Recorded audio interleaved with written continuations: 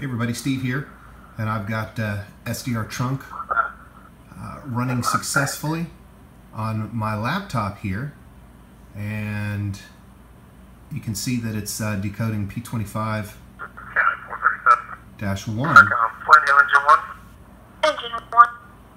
and it's actually working pretty decent right now. But um, if I can show you, if you look at my CPU, it's uh, running at 100 plus percent. So, and that's generating a lot of overflows. So I'm missing probably more than 50% of what's going on. What I've decided to do is reinstall everything on my desktop, which I'm going to do, and I'm going to record every step of it so that you can see. All right, so let's jump to the desktop and get started. Okay, so we are on the machine now, and we're gonna um, go to uh, D Shear's uh, GitHub. Hope I pronounced his name correctly. It's uh, github.com slash D S H E I R E R. Of course, the link uh, to this will be in the description of the video. Um, we're going to install SDR trunk, and then in order to um, decode the P25 signals, we need to install this JMBE. Um, there are some prerequisites. Uh, there, if you watch my video on installing GQRX on a Raspberry Pi, there's a bunch of things that you need to install prior to getting to this point. For example, you need to install Git, you need to install CMake, uh, Build Essentials, uh, the USB library, uh, and then when you go to install GQRX, uh, you get a whole bunch of uh, repositories uh, that are beneficial to SDR, including GNU Radio and a whole bunch of other stuff that will make things go smoothly for you. So the assumption at this very point is that if you're at a prompt like I am, you've got your dongle or dongles plugged in, you should be able to do something like RTL underscore test. And there you can see a standard uh, RTL SDR. And if you've got a HackRF,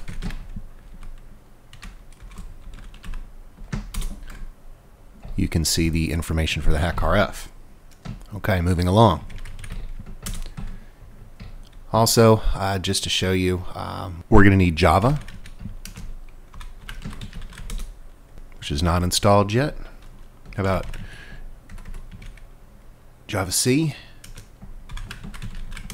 Not installed yet, and Ant. Not installed yet. So I wanted to show you these things because uh, we're starting clean.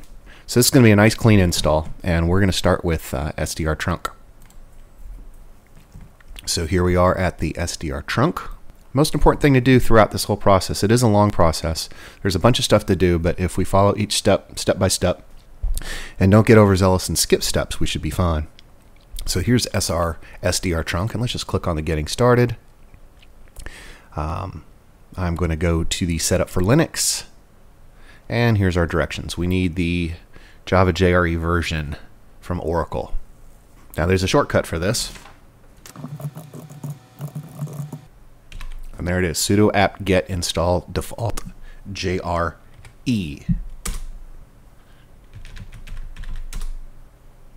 And it's going to install 99 megabytes worth of stuff. So we'll just say yes.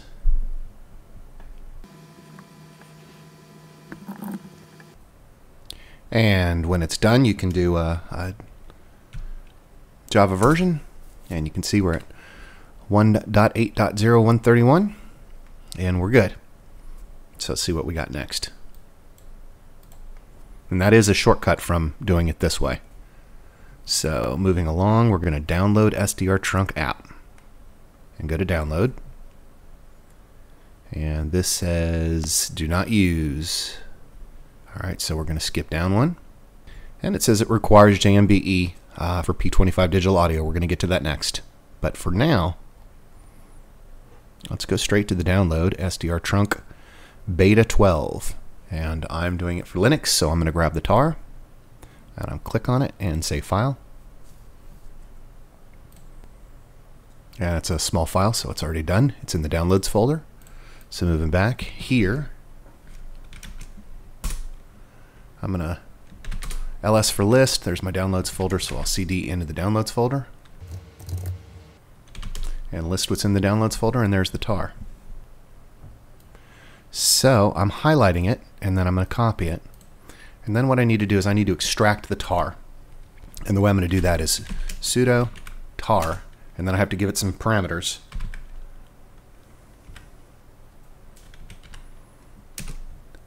And those parameters, if I remember correctly, are extract, verbose, um, and then show us all the files that come out of it, I think is what the xvzf is. So we're going to paste paste that, and it's already it already hit enter, or it, it did enter for me. So if I list, there's my SDR trunk right there. Now I can get rid of the uh, uh, the GZ if I want to, because it's just a zip file, uh, and I can do that by sudo remove .gz. Star.gz just gets rid of everything in the folder that might end in GZ. It's a lot easier than typing all that stuff. And then if we list the folder again, we've got just got the SDR trunk. Back up a folder now, and now I'm back in my um, home directory. And I want to get the SDR trunk out of downloads as well. Let me pop back into uh, pop back into downloads and list, there's SDR trunk. So what I want to do is I want to um, sudo move directory SDR trunk. And I want to tell it where I want it to move it to into my home slash SS. So it's in my home. Oh, it's just move.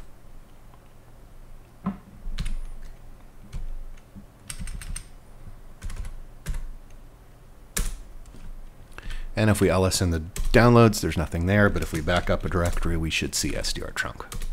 And there it is. So what we're going to do is we're going to venture in SDR trunk by cd SDR trunk. Hello. And ls. Go back to the directions. This number four is part of what I did in the first video, so it should be done already. And we're going to run the script by just typing in this.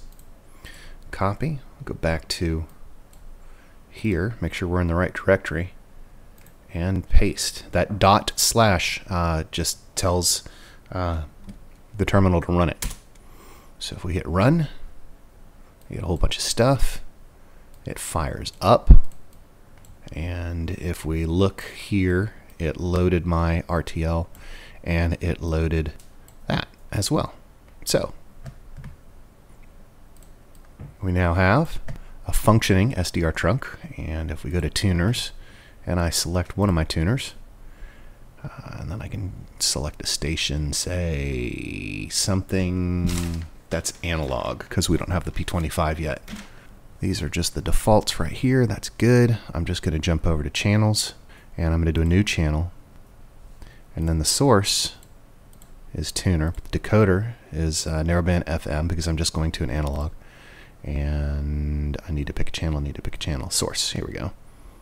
So if I go right here, I can type in 162. I'm just doing this with the keyboard. 475 000, enter. And then I need to enable the channel.